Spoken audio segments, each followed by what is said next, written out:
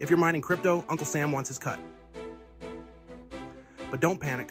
Let's break it down simply. When you mine crypto, you're actually creating taxable income. That's right.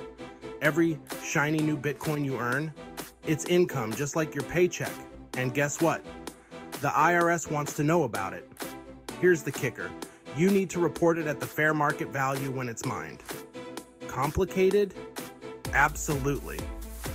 But don't worry, there's a lifesaver for this tax chaos Coin Ledger. Coin Ledger makes tracking and reporting your crypto taxes a breeze. Instead of pulling your hair out, let the software do the heavy lifting. Doing it solo?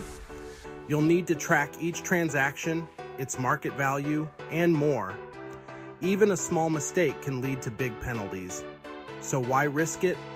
Simplify your crypto tax prep with tools like CoinLedger and stay on the IRS's good side. Got more questions? Drop a comment below. I answer all of them. And hey, don't forget to like, subscribe, and hit that notification bell for more crypto tips. Happy mining and may your taxes be ever in your favor.